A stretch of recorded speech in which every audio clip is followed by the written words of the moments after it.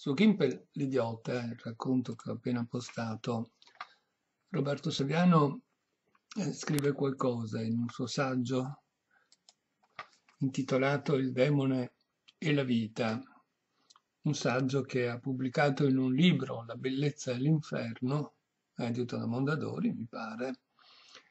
E questo capitolo si intitola Il demone e la vita. Come scrive Singer nel libro Ombre sull'Hudson, riporta Saviano, Dio ha bisogno che l'essere umano lo aiuti a portare il dramma cosmico a un beneficio finale. La letteratura così diviene una strumentazione divina, capace di almanaccare mondi, di fantasticarli, all'interno dell'unico mondo possibile come quello che siamo costretti a vivere. Gimpel, leggendario personaggio di Gimpel l'idiota, riconosce che questo mondo è del tutto immaginario, d'accordo, ma è parente stretto di quello vero, e proprio per questa parentela non rimane da fare altro che considerare la forza della fantasia come un elemento fondante del reale. In letteratura reale non è soltanto quello che è vero, tangibile, ma anche quello che si può costruire attraverso il fantastico, attraverso tutto quello, insomma, che siamo capaci di pensare diventa reale per la letteratura.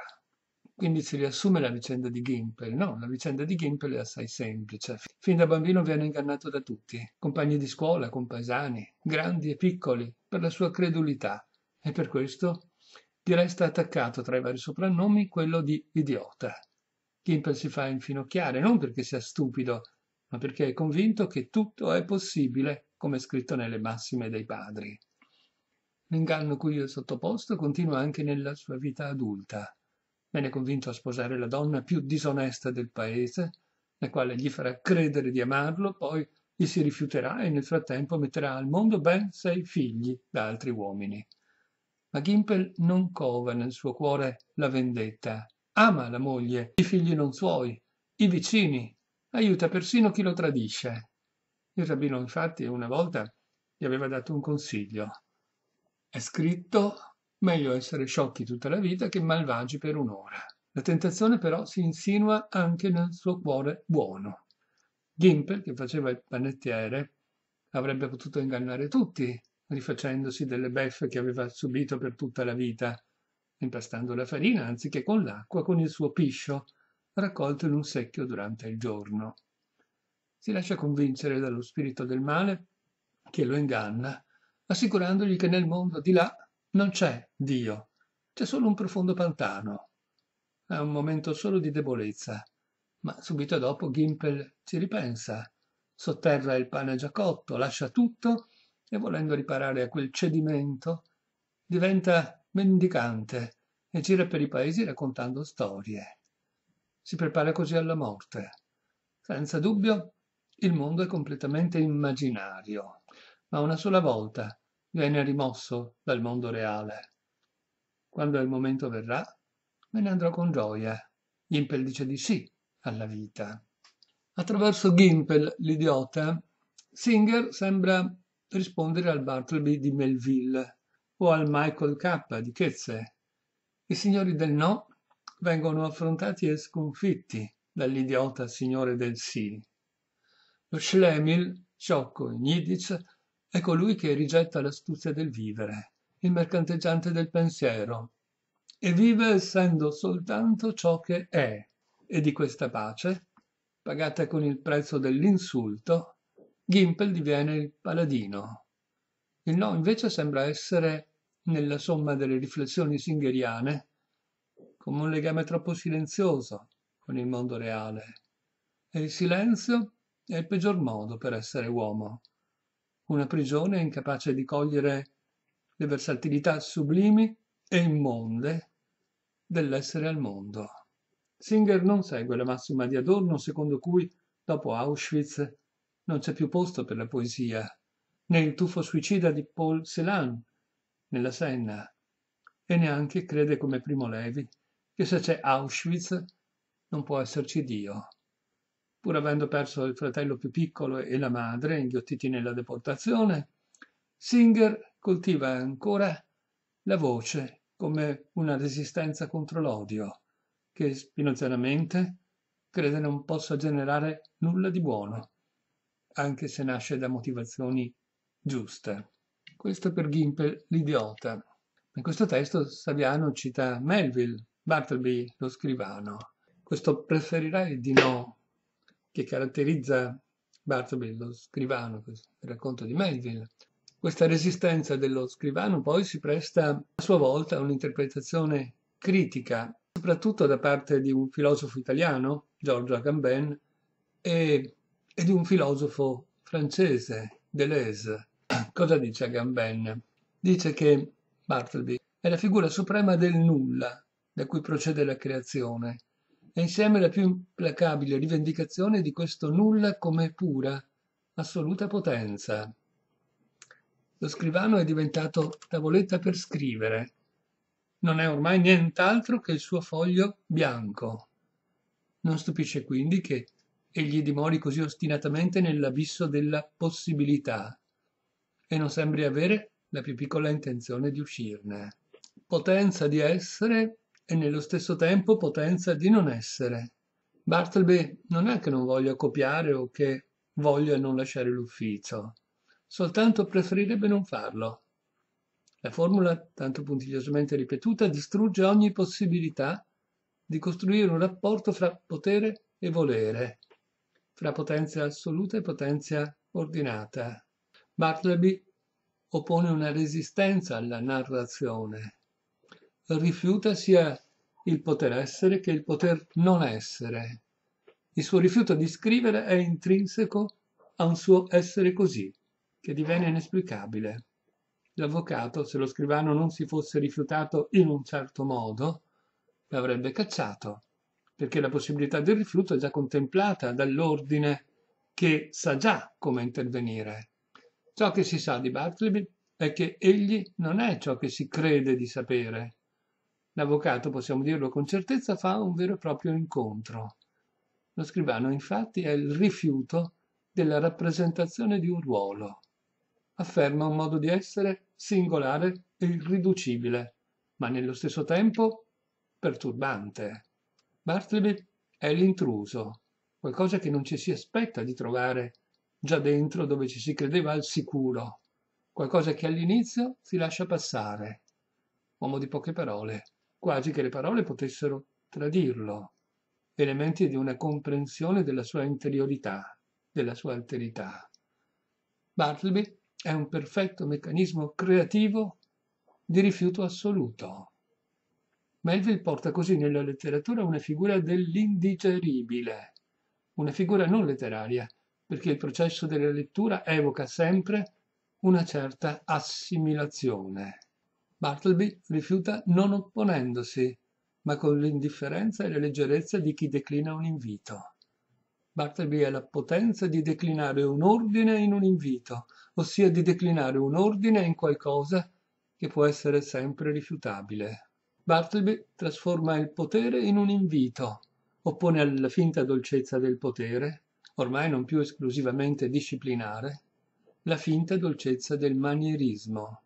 Ed è sul manierismo della sua formula che insiste invece Deleuze, con l'intento di sottrarre la figura di Bartleby a qualsiasi simbolismo. Si osserva all'inizio infatti una certa solennità. Prefer è usato raramente in questo senso, e nel principale di Bartleby, l'avvocato, negli impiegati dello studio se ne servono abitualmente. Una strana parola. La stravaganza della formula va al di là della parola stessa. Bartleby, più che un simbolo, produce con la sua formula un particolare meccanismo, cioè la formula si caratterizza per il suo iper-rifiuto. La formula è devastante perché elimina altrettanto impietosamente il preferibile e qualsiasi non preferito. Ma l'iper-rifiuto non è ancora il rifiuto assoluto, il rifiuto assoluto è la cifra di un'intrusione. Se Bartleby avesse rifiutato ogni cosa, non sarebbe entrato affatto nel guscio studio dell'avvocato. Questo entrare di Bartleby non viene per nulla sottolineato dai due interpreti, esclusivamente concentrati sulla formula. perché lo scrivano, prima di far uso della sua formula, deve divenire scrivano, deve rifiutare di formulare, deve rifiutare e nello stesso tempo non rifiutare. Il suo prefer è la cifra della sua economia anti-utilitaristica. Se scrive è perché implicitamente preferisce di farlo. Per ciò che non preferisce, egli innalza la sua legge, con la sua formula. Preferisco di no. È curioso come il preferire sia la cifra di un rifiuto assoluto, non iperbolico. E assoluto vuol dire slegato, sciolto, non relativo ad un sì o ad un no, non binario. Cifra di un volere sottile e inesplicabile, di un desiderio evasivo. Il rifiuto assoluto è il rifiuto ambiguo, che è più forte di un rifiuto opposizionale. Bartleby non rifiuta di parlare, ma di parlare come si parla. Non rifiuta di fare, ma di fare come si fa. Rifiuta pertanto sia il fare, come si fa, che il non fare, preferendo. Rifiuta il rifiuto. Ed è questo il gesto della sua assolutezza. La potenza del suo rifiuto non si concentra su un piano linguistico pragmatico o ontologico politico, quanto nel suo rifiuto obliquo, o meglio ubiquo, del suo essere dentro fuori, nel trasformare ogni ordine in un rifiutabile e nel disorientare ogni attribuzione di senso. Ma nel suo rifiuto assoluto Bartleby non diventa che un attrattore, come un amo entra ed esce. Tutto il racconto è un dispositivo di attrazione, è un training.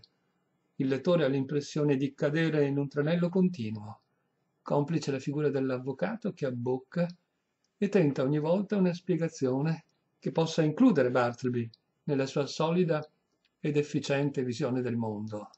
Bartleby quindi viene non per salvare, ma per redimerci dalla salvezza che può dare il sapere, Secondo Deleuze, quindi, la lingua di Bartleby sarebbe la cifra di un popolo di fratelli senza padre, di una comunità di originali senza origine, di un'America diversa dall'America fatta di uomini d'affari o di successo, forse ancora troppo inglesi. Ma Bartleby non è una tale forma di Messia. Egli non salva, non vuole salvare. Come Cristo egli non salva se stesso, ma non per salvare con il suo sacrificio il mondo, Bartleby viene non per salvare, per redimere dalla salvezza che può dare il sapere. Sapere non salva, non redime, può solo costringere. Bartleby è quel messia che salva dalla volontà di sapere. È l'inesplicabile che non si viene a sapere, che il sapere non può costringere e che non può annullare. L'unica cosa che si saprà di Bartleby è che egli nient'altro è che il messia guardiano dell'irreparabile. Bartleby sarebbe stato un impiegato subalterno in un ufficio di lettere smarrite a Washington, dal quale sarebbe stato ad un tratto dismesso a motivo di un cambiamento nell'amministrazione. Lettere smarrite, lettere morte. Non si direbbe che tutto ciò parli di uomini morti. Pensate ad un uomo che per natura o per sventura sia propenso al pallido pensiero dell'irreparabile Potrebbe un'altra occupazione essere più adatta ad acuire quel pensiero, più del maneggiare queste lettere smarrite e accatastarle per darle alle fiamme. Che ogni anno cataste se ne bruciano di simili lettere. Dalle pieghe di un foglio a volte il pallido estrae un anello e il dito cui era destinato forse già imputridisce nella tomba. Estrae una banconota inviata con la più sollecita carità e chi avrebbe dovuto soccorrere più non mangia né soffre. Un perdono per chi morì disperando, una speranza per chi morì senza speme, buone nuove per chi fu annientato da perpetue sventure, inviate per occorrenze della vita. Queste lettere urgono alla morte. Ah, Bartleby. Ah, umanità.